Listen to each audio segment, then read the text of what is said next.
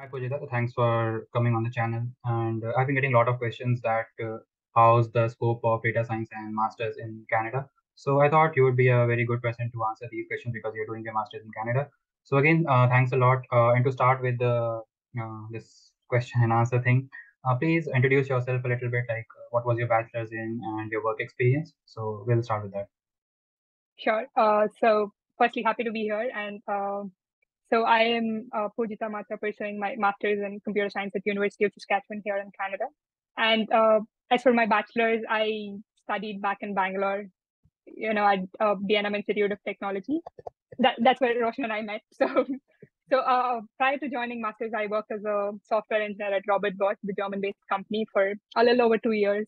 And uh, most of my work back in Bosch was about automa- automating developer workflows and using Python and shell scripting and I also got to work a little bit on Java and C++ and optimizing build and GUI optimization tasks, etc. All right. Uh, so why did you uh, choose Canada? Any specific reason for your masters? So there are actually a lot of reasons why I chose Canada. Firstly, is because I got a full scholarship at University of Saskatchewan, the university in which I'm currently studying at. So um, basically, like the scholarship is good enough for me to take care of my expenses and also pay my uh, tuition fee out of it. So I haven't spent even a penny out of my pocket till date. So who wouldn't love that? So that that's one of my you know major factors that I'm here. And apart from that, I uh, so I did not just apply to Canada. I also applied for a few German universities, and uh, I got an admit from you. Uh, I got admits from few universities there. And if I have to compare the curriculum, it's something like this.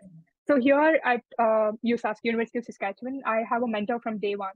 Mm-hmm. And uh, the thesis that uh, so the same mentor is going to help me with my thesis. He's basically my thesis supervisor, and he would mm-hmm. also help me with any of the questions that I have from day one, ever since my you know master's course started. So uh, whereas the German one, even though there was not much tuition fee because I guess Germany offers ways of mm, yeah. those tuition fee, right? So uh, but I still had to spend some money out of my pocket to take care of my expense. So mm. that's why like I chose Canada over. And that's Germany. a good reason. I mean, definitely. Uh, mostly people say that uh, Germany is where you can study for free, but I think you can do it in other countries as well. It's just not many people know about that. I mean, there this type of yeah. course is there in UK as well, so they call it MRes. Uh, so it's a research-based study. Uh, I looked into those courses as well, but the problem was I did not like the kind of project they were doing, and it was not flexible. Like you can take up your own project and you can work on it. So you had to work on the projects that they had. So the universities where I was interested in, they didn't have uh, that kind of project which I was interested in. So I had to go for project based or uh, here they call it short okay. masters. So mm-hmm. uh, that's why I had to take this one, and it's actually expensive one. So you have to pay the fees and all those things. But if you take a research based masters, it's actually quite cheap or sometimes it's Cheaper, totally yeah. free. So uh, yeah, it's uh, definitely an option to pursue in any other countries as well, and it's not just in uh, Germany. So yeah, that's a really good thing. And what is your uh, master's in like what subject you are studying? It's master's in computer science. Okay, so in that you can based, yeah. thesis is deep, deep learning based. So in that you can choose whatever modules you like. Yeah, it's it's up to us. Yeah. Okay, that's great. That's great. So what type of real world exposure did you get uh, as part of your masters? Okay, so here in Canada, like there are a lot of opportunities, and as a part of my masters, I uh, I started my masters back in Jan 2021, so I'm almost finishing two two years. But uh, I'm delaying my masters by one more term because I went on a two month break back in May June this year because I got into the summer school, so uh, which is funded by Alberta Machine Learning Lab. It's a really famous lab here in Canada for machine learning research, and also a few other machine learning institutes here in Canada. So uh, it was like an extensive machine learning uh, program where uh, people from all over Canada, like all those uh, different uh, people from different universities here in Canada, like uh, we were all taught uh, machine learning, deep learning, and other stuff. And it, it was done by one of those, you know, um, reputed professors mm-hmm. from Canada. So that's why I had to go on a two month break. Uh, apart from that, if uh, as for the real real time exposure goes, I am currently working uh, part time with Government of Saskatchewan. That's the province that I live in. Mm-hmm. So um, uh, I work as a data analyst part time for those guys, uh, where I'm trying to support this northern alcohol strategy for Saskatchewan province, mm-hmm. and um, that's another real time experience. And my thesis alone, like it's funded by Canadian government, so that's another exposure that I yeah. have come across here in Canada. That's a really good thing. Canada, UK, and countries like these there uh, we get a lot of uh, practical knowledge and uh, here everything is project based and all these universities have collaboration with some of the bigger companies. Like for my university, they have collab they have this uh, building called the Catalyst, in which there mm -hmm. are mm-hmm. so many companies they are doing data or machine learning based research work. So there I was able to find my internship, and uh, that project I took it as part of my dissertation as well. So uh, when we come here and when we see these kind of collaborations that uh, universities have, that we get exposure to those kind of things and we get to make connections and uh, from that we can find a lot of opportunities as well so yeah that is one thing which i really liked about uh, uh, canada as well like you told and also uh, here in the uk i was able to work on lot and lots and lots of different projects which were actually live projects and they were under research uh, in different organizations. So yeah that's a, a really good thing to do. Uh, now if we move on to the assessment part like how the assessment is being done in your course? Uh, so as a part of my master's, like uh, so it it again depends on the university and the curriculum that university comes up with. So my master's in computer science, like as a part of my curriculum, I just had to do four courses, and I would spend my rest of my time on thesis. So let's say a student would take about two terms to finish up those four courses. So um, the four courses that I took, uh, there was probably this one course where I had an open book exam where we were given three to four days to finish up that test. And apart from that, I don't think I had any exam for any of the courses. And uh, most of my courses had project that I had to finish up by the end of that coursework and uh, probably make some presentations out of it. So mm-hmm. that's how my course has been. If we look at like courses from other universities, so they do have exams like a few. Uh, it again depends on the instructor. If if instructor likes to conduct an exam, they would conduct an exam or okay. open book test and stuff like that. All right. Uh, so again, the assessments are also very practical. So that's a really yeah, good they're thing. very Uh, if we talk about a little bit about living expense and stuff in general, how is that? So that depends on the city that uh, you live in. So uh, my university, it's not in one of those big cities here in Canada. Mm-hmm. It's um, so uh, it my expenses are a bit cheaper compared to other uh, cities. But let's say if you go to Toronto or Vancouver, your cost of living is definitely going to be high. Your room rent is going to be high. So if I have to speak in terms of numbers, like a single uh, if you want to have the entire bedroom to yourself it would cost you like in saskatoon the place where i live it would cost me like 600 six, uh, 600 bucks whereas in toronto and vancouver like you might not be able to get a individual bedroom for yourself for just 600 bucks you might have to spend around 1k or you might want to share that room with another person to cut down on your expenses mm-hmm. All right. But groceries and stuff like that, it's it's they stay same. Yeah. Yeah. That's the same case here as well. I mean, I'm living in Newcastle right now, and Newcastle is one of the uh, less expensive cities here in uh, in the UK. So here I'm living in this room where I'm paying rent as uh, 450 pounds. But if we convert it into Canadian dollar or even dollar, I think it will be equivalent. So uh, so that's the case. But if I move to London or Manchester or Bristol, those bigger cities, uh, there the rents are actually expensive. So one of my friends, she is living in uh, Bristol, so her room is relatively smaller than mine but she's paying like 650 pounds for that room. That's expensive. If, yeah, that's expensive. And if you go to London, then it's even expensive. If you want to get room something like this, you'll have to pay around 800 pounds or something. I mean, you might be able to find something, but it will be really far from the city center. So yeah, uh, rents are actually expensive here as well. But then salary also varies depending on the region. So while we are talking about salary, how's the job market in the in Canada? the job market here is uh, really good. Like right now, I am looking for opportunities, and uh, there are like a lot of opportunities here in Canada. And in fact, like during COVID, a lot of US companies have opened opened up their branches here in Canada, and uh, they're offering like remote jobs, like companies like GoDaddy and other companies. Mm-hmm. So uh, the job market wise, it's there are a lot of jobs like it in data science domain, software domain, eh, mm-hmm. security, networking. So there are lots of lots of lots of opening, right? Uh, but yeah i mean we see there are uh, lots of opening but then there are applicants also who are applying for those uh, jobs so in terms of if we talk about in terms of competition how's the competition because if i talk about uk uh, the competition is too much. Uh, whenever i go to linkedin and if i'm seeing some job posting if the job is being posted for at least let's say one hour or something i can easily see 50 people have already applied for the job. And if it is up for like let's say one day to one week then definitely there will be more than 100 people who have applied for that job. So the one which i have got uh, now uh, for that it was open just for like two days or three days i guess and more than 50 to 60 people had applied for that. So that's the thing and most of the companies uh, they are trying to get people uh, who are either local or they don't need sponsorship so that's oh, the thing okay. but what's the situation in canada So as for the job postings and the number of applicants number that we see on job posting goes, it, the numbers are similar to as what you've mentioned for UK. So it probably like in six hours, there would be 200 applicants who would have applied Mm-hmm. for that job. So it again depends on the kind of company and profiles. Like for a software engineer or data science uh, job posting, the uh, competition is like really high. As for the visa goes, so a two-year master's degree is going to fetch you a three-year work permit. So uh, that's why like it's uh, I don't think visa has been an issue until now. Like I applied for around 20, 25 jobs and visa was not never an issue. And I guess all they asked me was like, are you on study permit or would you need like sponsorship once you graduate and you know Mhm. uh, start working for us. But since we would be getting a three-year work permit, I don't need anybody's uh, Mhm. So that is not a problem here in Canada. I think if you do a one year, there are a few one year programs as well. I'm not really sure, but I think a one year program here would get you a one year work permit as far as I remember. Mm-hmm. All right. Uh, so uh, the thing is, I mean, if we talk about PR also, so your work permit that you get for like three years, it uh, counts towards your PR as well, right?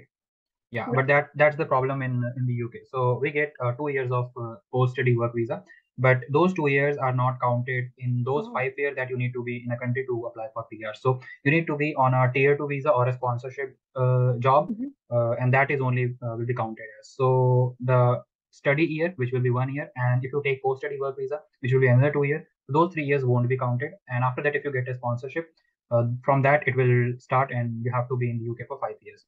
But if you get Okay. a sponsorship right after your masters, so your masters won't be counted as usual. But if you get sponsorship right after your masters, so from there five years will start. So that's why most people want to get uh, tier two sponsorship as soon as they finish their uh, masters. But uh, for you, I think it's better like uh, you can your, your Yeah. post study work visa is also counted as a relevant In year. fact, like your master's degree alone is going to fetch you like uh, decent points. Like Mhm. Canadian master, a- a degree that you got here in Canada is Mhm. going to give you some points towards your PR. And uh, if you work here, a Canadian work experience is also going Mhm. to give you some PR points. And there are actually like other ways to get faster PR. So basically, there are these provinces, like for example, the province that I uh, live in. So uh, they're trying to attract more people, and getting a PR here in this province is like definitely easier and faster than other provinces like Mhm. Ontario and other provinces. So uh, that is one thing, and there are actually like, a lot of benefits here in the province that I live in, like in Saskatchewan. I don't have to pay for health insurance. Like even uh, international students have like free uh, healthcare here. So Mhm. these are some of the benefits that, for, you know, it kind of varies from province to province. And Saskatchewan has been really, really good to us, giving us free healthcare so far. Yeah, that's a good thing. I mean, so if we talk about like PR and stuff, so definitely I think Canada has a upper hand over UK for sure. Yeah, definitely. Yeah. There are a few more questions which uh, people uh, have asked me. What's the scope of data science specifically for data science in Canada? Okay, so I am actually looking for both data science and also software jobs because I really enjoyed back when I was working as a software engineer back in India. And I've been heavily focusing on like data domain in the last two years. And so Mhm. that's why like I want to apply for like both data Mhm. science and also the regular software jobs. And uh, as far as the opportunities goes, like in data science domain, there are actually like a lot of opportunities, and it also kind of depends on uh, when you start applying for those jobs. So basically, a lot of companies here, like say Rogers, Bell, Telus, and companies like that, they have this new grad hires that happen. Like say I am graduating in next year, April, hopefully. So uh, if I graduated, so I can I'm right now applying for this new grad hires where the interview process is rel- relatively easier, and they would Mhm. have these rotational programs where again this data science domain again has like you know data engineering and data science data analysis and a few other roles right? So you get to try out like all these roles for a period of one to two years. And Yeah. if you like if there's this particular field that you like within data science like you, you can choose that like so that's something that a lot of companies have been offering lately. So if if it interests you please just look uh around this time. Like most of the companies would post for such jobs around this time. So Mhm. I, I, I mean, I've been applying for a lot of companies. I think I would have applied for at least 15 to 20 companies under this category where I get to Mhm. try out like different uh, fields. That's the same case here also. Uh, they call it as uh, graduate roles. So the first Yeah. offer that I had, it was a graduate consultant developer, where they would uh, put me in some sort of training, like preliminary training for like six, seven weeks or something like that. And uh, after that, they will put me in some team where I will be working on certain project. Then they will put me in some other team where I will be working on some other project. And there I will get experience from all the different domains, and uh, then I will be able to choose which one I like, and then I can Yeah. go to that. So yeah, I had that uh, that type of offer, but uh, unfortunately they had to move my joining a little bit later. So then I started looking for something else, and I was very much uh, focused on data science specifically, not even data analysis or something like that. Right. So yeah, I started applying, and uh, now fortunately I have another offer. So hopefully I'll be joining soon. Uh, so yeah, let's move on to another question, which uh, is master's or PG diploma for someone who is from non-IT background. So which one will be easier for someone who is from non-IT background to get in? So that kind of depends on the university. Like I really don't have a lot of experience in this arena. So, but I can speak in terms of like a few friends. So I have this friend who was, uh, I guess, in a ECE domain, but she is currently doing masters in computer science at Northeastern University. Mm-hmm. So uh, to be eligible for it, I guess you should take a few computer science undergrad courses because you are okay. in a different uh, department altogether in, during your undergrad course. So I also have another friend actually, like in my uh, university, who is from electrical or electronic. So uh, he was studying in like Manitoba in, in a different department, but then he wanted to get into data science, uh, computer vision, and you know deep learning fields. So he is doing masters in computer science. But so, like I said, as a part of my master's coursework, I just had to do four courses. But since he was coming from a different background altogether, he had to do two or three more undergrad courses, uh, just so that he could he could get mm-hmm. along in this computer science degree. All right. Uh, I think we also have something like that. Uh, there is a specific term which I am not able to recall at this point. So they have to, if people are coming from some other background, and if they want to take a certain module, so their course start a little bit earlier, let's say a month or so earlier, and then they take a few modules which will make yeah. them well versed with the computer science technologies, and then they can progress with the course if they want.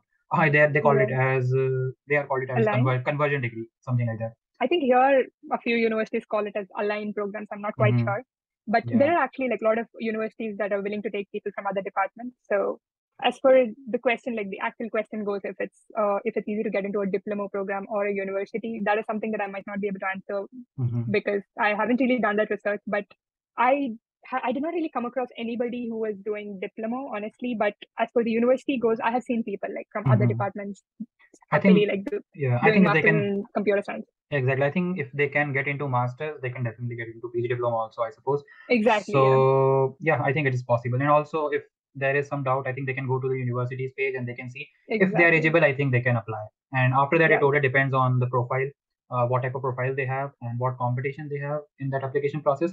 So I think it's uh, that there. And then uh, the question is how they can improve their profile uh, so that they can stand out uh, in the application process. I guess having a few projects in the computer science domain, let's say if you're trying to switch to computer science domain, having a few projects like coding projects, learning a few coding languages and those certifications that you just mentioned, uh, those certifications should mm-hmm. definitely help overall. Like they, they would help you in building your profile. And ultimately, if you have a really good profile, you have a higher chance of getting into a university. So yeah working so if, towards your yeah. profile would definitely help yeah so if they have uh, some certificate from coursera or maybe udemy i think that should help them to build they're all very helpful yeah. yeah and uh, the last question is uh, Is getting visa for masters in data science is easy uh, for someone with no experience? As far as I know, like there is no such thing as getting visa for this course, it easy or not. As long as you have an admit, you should be able to get. We don't even have for Canadian uh, study permit. Like you don't even have to give the visa interview that you would give for other countries. So mm-hmm. uh, I think it shouldn't matter if it's a PG program or a university program to fetch your visa. Yeah, that's the thing. I mean, same is with the UK as well. Uh, but then if you are going to some university which is lower ranked, or rather, I should say, which has very less fees, uh, generally UKVI or uh, let's say uh, visa officer, they try to conduct some sort of interview to see if you are a genuine candidate or not. Because here in the UK, uh, I have seen like many people come to those uh, cheaper universities just to get into the UK and uh, then they start doing something else. They don't really focus on their course because anyways they can stay here for like a year for course and then two year psw so they start doing all those kind of things.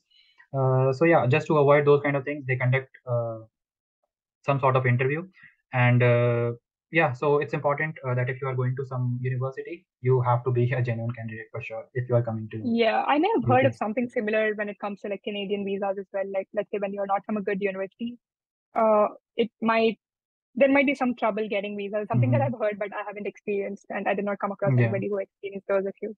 Yeah, same here. I mean, I did not get any interview calls or anything, and my friends who are coming to UK now, even they didn't get any interview calls or something. So uh, it's like that. I think it's very rare, but it happens at times. So Yeah. if you are a genuine candidate, I think a candidate, I think you should not be worried about all these things. But uh, if you are not a genuine candidate, then that's a completely different story. Yeah. Uh, so yeah, I think uh, these were the questions, and uh, thank you so much for answering so patiently. And if you have any general advice that you want to give to people if they want to come to Canada, like things they should keep in their mind and uh, some pointers which they can uh, use to make most out of their masters, so that would be really helpful. Oh yeah. So actually, the one thing that I tell people is like Canada has very limited universities. It doesn't have a lot of universities like the US or Europe. UK so as well. Yeah. don't yeah. So don't filter out universities like initially. Try and you know apply for as many universities as you want, and then based on the admits, you can filter it out later. So do not filter it out initially. And apart from that, you network as much as you can. So it's it's you, you have better uh, chances of getting into a good company based on the network that you have. So it's something that I would advise everybody to do. So I think that will do, and lot of questions have been answered. So I hope people will be able to make their decision now. I think. yeah, hopefully.